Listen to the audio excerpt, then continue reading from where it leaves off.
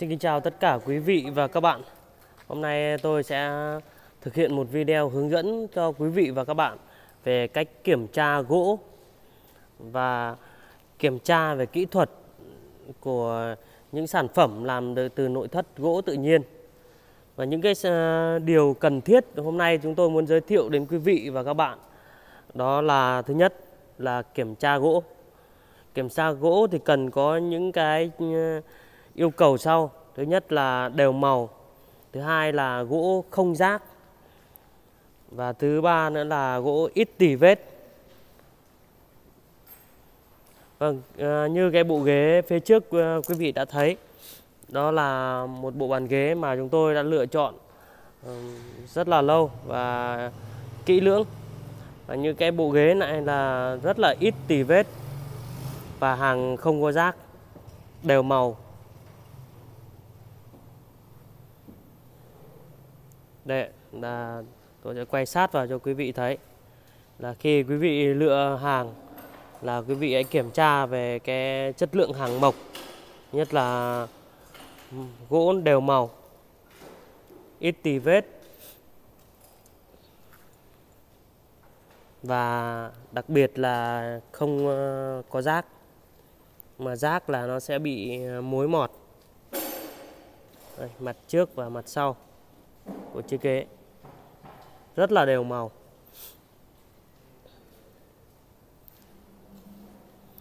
Và cái thứ hai nữa mà đặc biệt là quan trọng từ khi mình kiểm tra hàng mộc đó chính là kiểm tra về mộng và các khớp nối của uh, cái kết cấu khi mình dựng lên nó thành một cái sản phẩm nội thất và một sản phẩm ví dụ như là chiếc ghế ngày hôm nay này. Như ở đây các uh, chi tiết mà làm mộng thì luôn luôn nó sẽ là những cái điểm kết nối với nhau. Như chỗ này đây cái khung mặt mà tôi muốn ờ, nói cho quý vị nhìn thấy rõ nhất đó là cái phần này là chúng tôi có kết nối giữa hai cái lại với nhau hai cái mặt khung lại với nhau và có cái mộng âm ở trong. Như cái này là chúng tôi đã thể hiện ra bên ngoài. Đó là cái mộng uh, kết nối nó lộ ra bên ngoài đây. Đây là mộng. Ừ, mộng là khi mình làm như này nó sẽ rất là chắc chắn. Nó đảm bảo được cái độ co ngót của cái khung mặt này nó không bị vênh không bị co ngót. Và những cái điểm kết nối giữa yếm chân với chân đó là phải đặc biệt là phải làm mộng thì nó mới đảm bảo được cái độ ừ, chắc độ bền không, khi là ừ, quý vị có kéo qua, kéo lại là nó sẽ bị hở. Nó bị hở ra và nó sẽ bị nứt và gãy. Vì cái sản phẩm đồ gỗ nội thất này nó rất là nặng. Đây những cái vết tay này là chúng tôi đều có mộng âm ở trong hết. Những cái khớp nối này, nó là đều có mộng hết. Nên là rất là chắc chắn, không có rất là cứng cáp đây là cái sản phẩm mà đồ gỗ Sơn Đông chúng tôi muốn giới thiệu đến quý vị. Về chi tiết làm mộng đây, như cái này là tôi đã làm mộng nó lộ ra bên ngoài. Đây. Đây là mộng rất là to và chắc. Đấy. vừa rồi là cái phần ờ, kiểm tra hàng gỗ về cái độ đều màu. Trước tiên là đều màu không rác rồi à, đến à, các điểm nối, kết nối giữa yếm và chân là phải có mộng, khung mặt với khung mặt là phải có mộng, kết nối lại với nhau.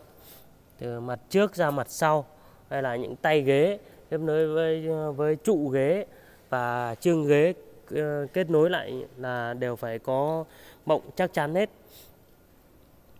Và để kiểm tra thêm cái phần mà không có rác, gỗ hay là gỗ sâu, xia, ít lỗi thì như ở đây, tôi đang có chiếc ghế này là chưa có trà sạch và tôi sẽ lật phía dưới lên để tôi ờ, quay chi tiết cho quý vị thấy. Như ở đây, quay xung quanh một vòng. Là quý vị có nhìn thấy được những ờ, cái mộng của chúng tôi và lựa phần ờ, màu gỗ và những cái tỉ vết ở gỗ. Rồi, quý vị thấy được rõ hơn nét hơn và tôi sẽ lật ra để quý vị xem ờ, cái phần bên mặt dưới. Này khá là nặng. Một mình nên là nó rất là bất tiện. Vâng. Và này là mặt trong của bọn ghế. Đấy, khá là sạch sẽ nha quý vị. Vâng, hàng không có dính rác và những cái mắt lỗi thì thường ờ, nó chỉ nằm ở chân. Đây những cái vết ờ, lỗi vết đen. Và đây tôi sẽ đi chỉ vào một cái điểm nó rất là rõ ràng là những cái mộng. Đây các mộng mộng cái những cái này là cái thang dưới của mặt ghế và đã có mộng. Đây mộng thì chúng tôi đã để rõ ràng ra để quý vị và các bạn cùng thấy. Đây ạ, lỗ đục mộng này. À, mộng khi à, dưới chân nó đi lên khung mặt là kết nối giữa cái yếm với cái chân. Đó, là vẫn còn lỗ mộng rõ ràng này. độ âm ở trong rất là sâu nên là đảm bảo được cái yêu cầu về chất lượng. Rất là chắc chắn vừa rồi tôi đã sơ qua về màu gỗ này, hàng gỗ không rác này, về kỹ thuật lắp ráp mà sử dụng bằng mộng.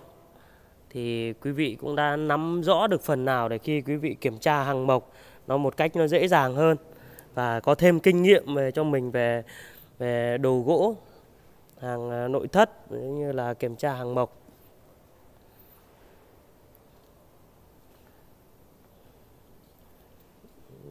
Vừa rồi là những cái chi tiết mà tôi đã quay.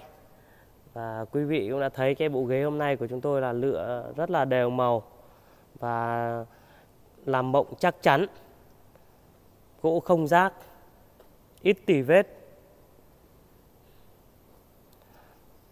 Và tôi xin kết thúc video tại đây. Xin cảm ơn tất cả quý vị và các bạn đã ừ, theo dõi và có cho mình được một ờ, cái kinh nghiệm nhất định về kiểm tra hàng mộc, đồ gỗ mỹ nghệ. Xin cảm ơn tất cả quý vị.